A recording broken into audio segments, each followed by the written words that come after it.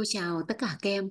Các em thân mến, bài giảng ngày hôm nay thì cô và các em sẽ tiếp tục ở bài 7 với chủ đề tin yêu và ước vọng, ngữ văn lớp 8, bộ sách kết nối tri thức với cuộc sống. Và trong video này thì cô và các em sẽ cùng đi tìm hiểu viết đoạn văn ghi lại cảm xúc về một bài thơ tự do.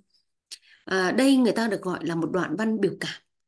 Và viết đoạn văn ghi lại cảm xúc về một bài thơ ấy thì đây không còn là kiểu bài mới mẻ với các em nữa các em đã được viết những đoạn văn ghi lại cảm xúc về một bài thơ lục bát, ghi lại cảm xúc về một bài thơ có yếu tố tự sự và miêu tả, hoặc là một bài thơ bốn chữ hoặc năm chữ vân vân.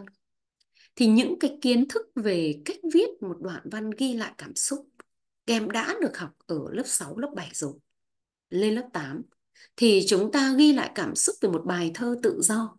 Thì đương nhiên chúng ta cần phải bám vào đặc trưng của thơ tự do nhất là ở chủ đề 7 các em đang học về thể thơ tự do qua bài thơ đồng chí hoặc là bài thơ lá đỏ.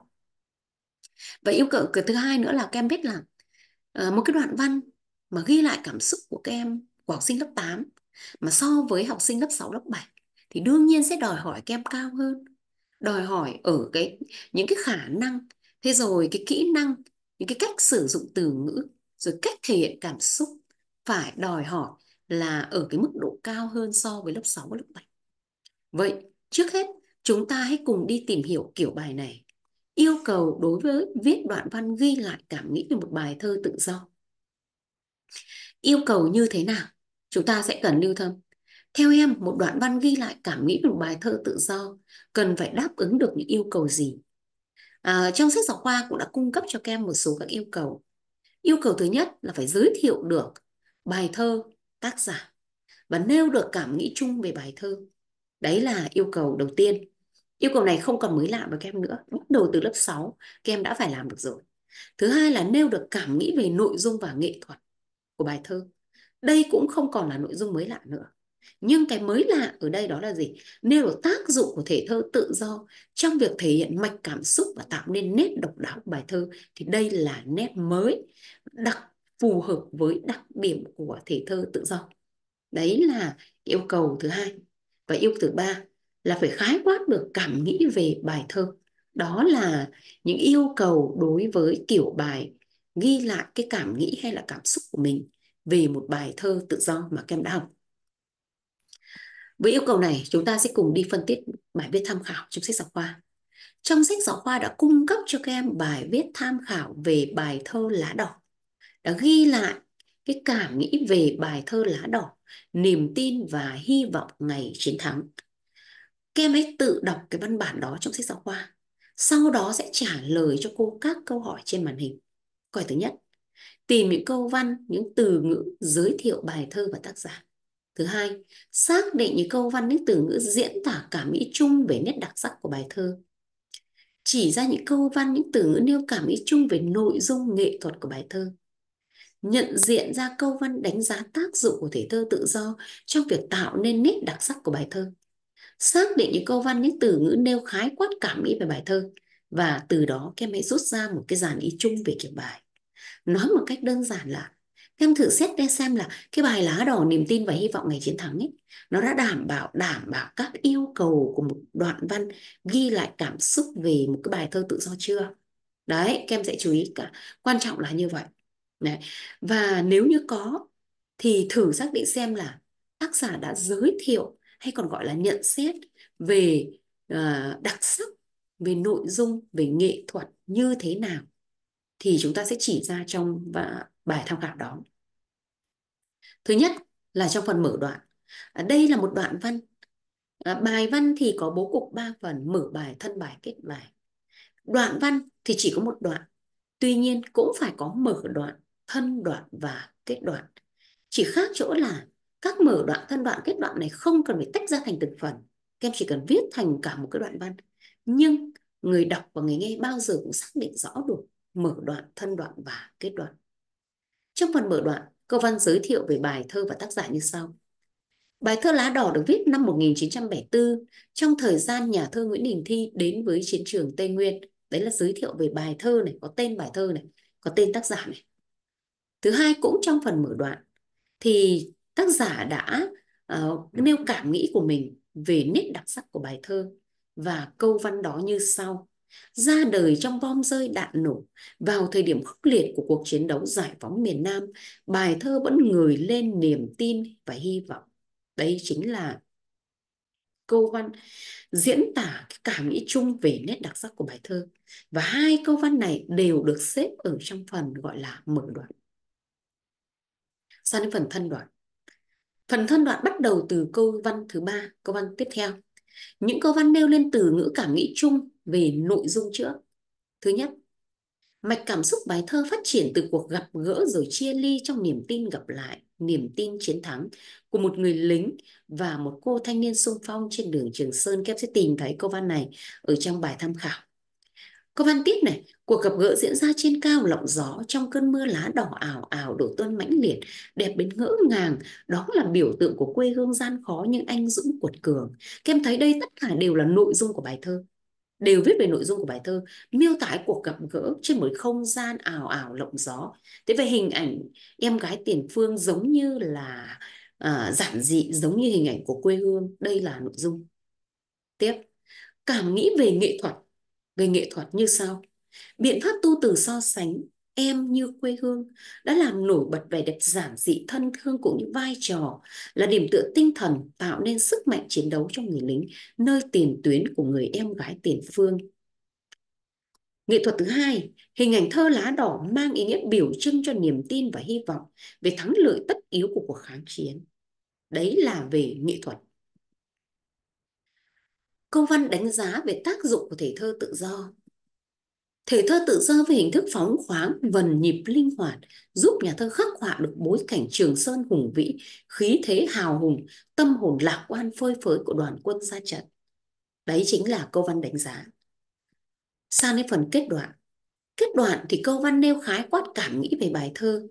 Đó là bài thơ ra đời cách đây gần nửa thế kỷ, nhưng vẫn gợi lên trong lòng người đọc niềm xúc động tự hào, lòng biết ơn của thế hệ cha anh đã hiến dâng tuổi xanh cho hòa bình đất nước như vậy thì uh, chúng ta đã chỉ ra là tất cả những câu văn mà đảm bảo các cái yêu cầu của một bài văn phát biểu cảm nghĩ, ghi lại cảm nghĩ về một cái bài thơ tự do rồi. Như vậy, bài văn tham khảo này đã đảm bảo các yêu cầu. Và thông qua những phần mà cô vừa chỉ ra trong bài viết tham khảo, chúng ta có thể rút ra một cái dàn ý chung của một cái đoạn văn ghi lại cảm nghĩ về một cái bài thơ tự do như sau. Mở đoạn, giới thiệu được bài thơ và tác giả nêu cảm nghĩ chung về bài thơ. Thân đoạn, trình bày cảm nghĩ về nét độc đáo của bài thơ trên hai phương diện nội dung và nghệ thuật. Và tác dụng của thể thơ tự do cho việc thể hiện mạch cảm xúc và nét độc đáo của bài thơ. Các em nhớ là cảm nghĩ ở đây là cảm nghĩ chung về nội dung và nghệ thuật. Và đương nhiên để cảm nghĩ về nội dung và nghệ thuật thì các em phải lấy ừ, dẫn chứng bằng những câu thơ, những hình ảnh ở trong bài thơ đó để phân tích, để làm nổi bật. Sang phần kết đoạn. Kết đoạn chính là nêu khái quát cảm nghĩ về bài thơ. Đó chính là giản ý chung. Và trên cơ sở giản ý này chúng ta sẽ sang phần thực hành viết. Phần thực hành viết theo các bước. Viết theo các bước thì ở đây thứ nhất là trước khi viết. Trước khi viết em phải lựa chọn bài thơ. À, có thể sử dụng các tác phẩm đã học. Hoặc là nếu có thể tự chọn một tác phẩm nào khác hoặc là những bài thơ mà chúng ta chưa học cũng được. Nhưng miễn là có những cái đề tài gần gũi như là tình cảm gia đình, tình yêu quê đất nước vân vân. Đấy, chúng ta sẽ lựa chọn những cái đề tài đó. Ví dụ một bài thơ mà kem đã được học đó là bài thơ Đồng Chí. Và trong video ngày hôm nay thì cô sẽ hướng dẫn các em cảm nhận về bài thơ Đồng Chí. Bài thơ Đồng Chí. Thứ hai là sau khi mà đã chọn được đề tài thì chúng ta sẽ đến thao tác tìm ý và lập giảng bài. Muốn tìm ý, việc đầu tiên phải đọc bài thơ nhiều lần để cảm nhận được cái âm điệu, cái mạch cảm xúc của nó. Nhất là những cái bài thơ mà nằm ngoài chương trình các em ạ. à, khi mà các em à, nằm ngoài chương trình các em phải tự cảm nhận ý, thì bắt buộc các em phải đọc nhiều lần bài thơ đó các em mới có thể cảm nhận được cái mạch cảm xúc của bài thơ thứ hai là ghi lại cái cảm nghĩ của em về cái nét đặc sắc trên hai phương diện phương diện nội dung và nghệ thuật tức là nội dung của bài thơ này đề cập đến những vấn đề gì? Nội nghệ thuật và nội dung đều làm được điều đó. Về nghệ thuật như là thể thơ vần nhịp các yếu tố miêu tả các hình ảnh nổi bật các từ ngữ đặc sắc các biện pháp tu từ. Thế rồi nội dung cảm xúc thông điệp của bài thơ. Tất cả những phần này chúng ta ghi nhanh để trên cơ sở đó để chúng ta giống như là có một cái dàn ý sơ bộ ấy, để chúng ta viết bài và cuối cùng là xác định được cảm nghĩ chung về bài thơ Đấy, thì khi xác định cảm nghĩ chung về bài thơ, kem nên sử dụng các cái từ ngữ diễn tả cảm xúc, ví dụ như là xúc động, tự hào, biết ơn, trân trọng, vân vân. Đấy là các từ ngữ mà ghi lại cái cảm xúc. Vậy thì sau khi tìm ý xong, các em sẽ lập giản bài và viết bài. Ở đây thì thao tác lập giản bài thì ờ, cô sẽ không hướng dẫn các em nữa mà chúng ta sẽ đi vào thao tác viết bài luôn để trên cơ sở đó chúng ta sẽ à, cùng đi tham khảo một cái bài viết tham khảo.